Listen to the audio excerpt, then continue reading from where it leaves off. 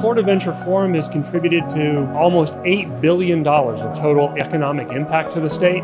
And probably more important than that number is the type of impact. This is new company formation in the new economy.